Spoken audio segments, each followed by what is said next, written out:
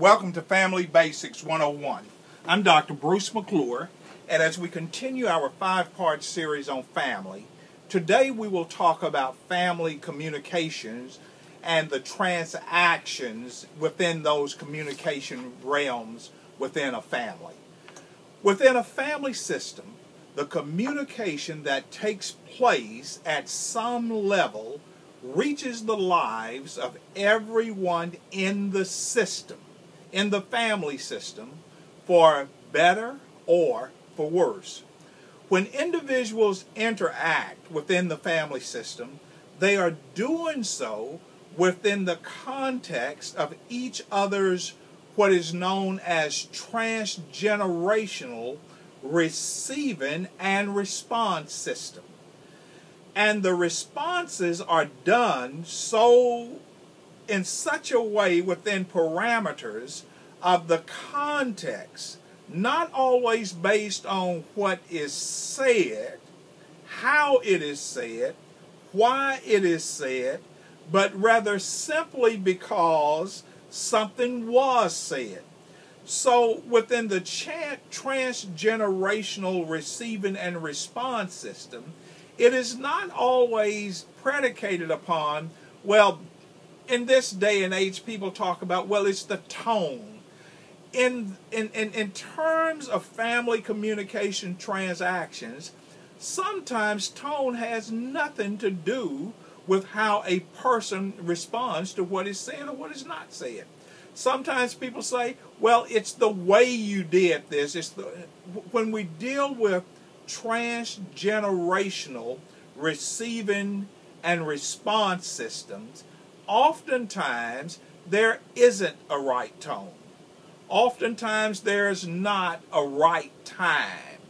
It's based on not always how something is said, not always why something is said, not based on who said it, but it's based on this is how my family has taught me to respond to people, and that's going to happen regardless of who the person is.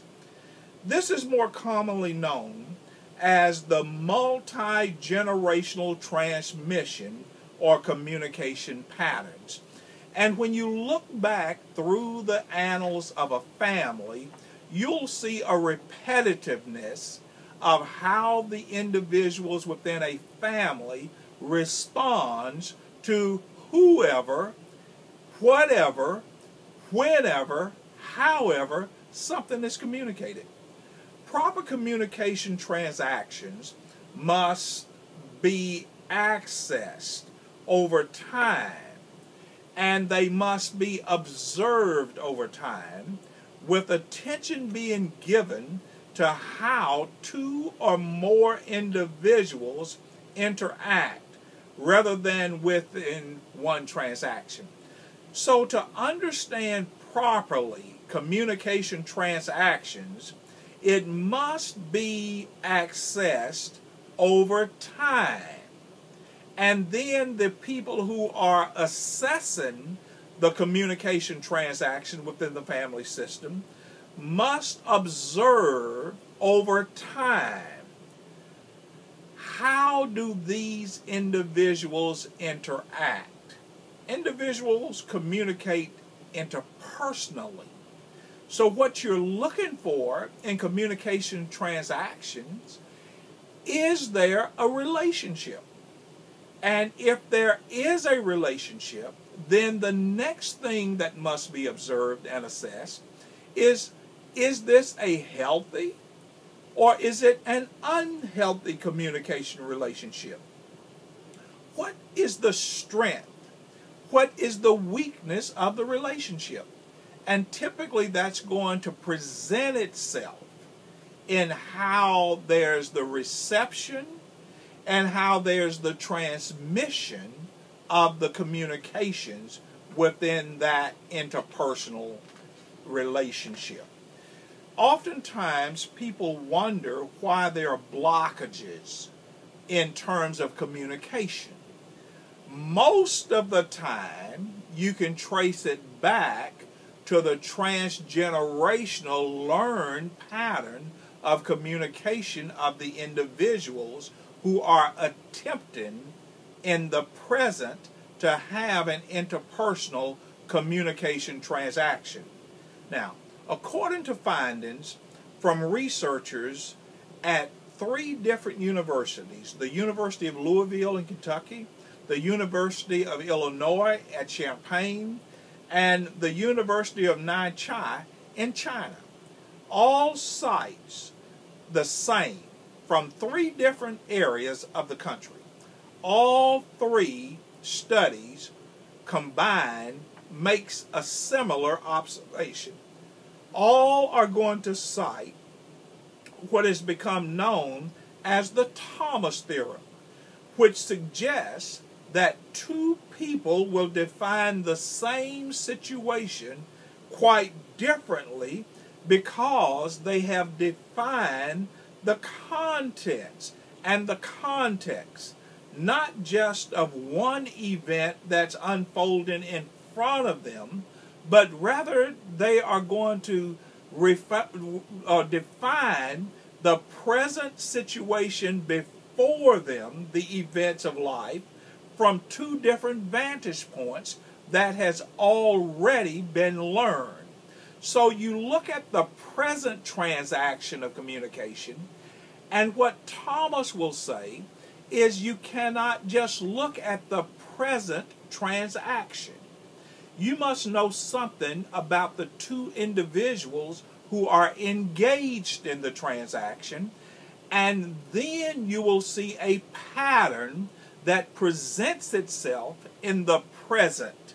But unless there is an interpersonal knowledge of the individual or individuals who are trying to have a communication transaction in the present, you may be taken for a ride because it appears as if this one transaction went well. And the reality is, as stated earlier, it's only over time that you can really determine what is the real transaction communication pattern of an individual. So the Thomas theorem is more commonly known as social constructing of reality or what is called scripting. As it sounds, scripting means a pre planned thought a pre planned process, a pre planned response, and a pre planned conclusion to anything that is said, anything that is done, anything that is intended by self. And then it's carried into how others will be handled in the communication process. So, scripting, on one hand, means an individual has already been programmed through that multi generational and through that transgenerational socialization in terms of how something is supposed to look, how someone is supposed to respond, and therefore, in the social scripting, especially if it is an unhealthy social scripting, is going to miss the reality of the day. Social scripting, for the most part, does not take in to consideration what's before them in the present. They've all, it's almost like the old adage, don't confuse me with the facts. My mind is already made up. Social scripting does not lend itself to variables when it is developed into socially, psychologically, or even into spiritually unstable, unhealthy environments. Scripting, communications, the art of communication, communicating within healthy relationships, are sometimes set to the sideline, and individuals try to stick to the script that has been pre programmed and most of the time pre programmed into them by the time they're five years old. And that will impede healthy adult communications in the here and now. I'll see you back in class again next time. Don't be late and don't skip class.